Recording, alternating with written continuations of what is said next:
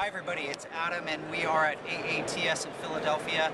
Very happy to, be sitting next to Dr. Patrick McCarthy, who is the Chief of Cardiothoracic Surgery at Northwestern in Chicago, Illinois.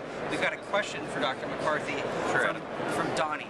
And Donnie writes, Adam, I've suffered from AFib, atrial fibrillation, longer than I can remember. Need mitral valve surgery due to regurgitation. My heart is already dilated. Am I an anomaly or is this common? Uh, first, Donnie, is very common. We hear this question all the time. I probably see patients with this about uh, twice a day. Wow. And so patients with mitral regurgitation frequently develop atrial fibrillation. And what happens is the mitral valve leaks and the blood goes up into the atria, the upper chambers.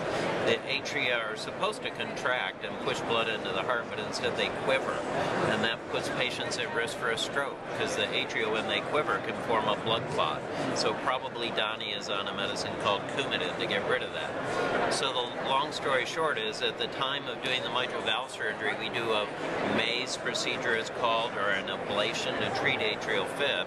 And it varies by patients, but overall it's about 80% effective at getting rid of atrial fib. So for that group of patients, we're running close to 100% of the patients that have a history of atrial fib before surgery. We'll treat it and we'll try to get rid of it. Great. Well, Dr. McCarthy, thanks for stopping by. we really Adam. appreciate all, All the support you've been giving to our website and the education.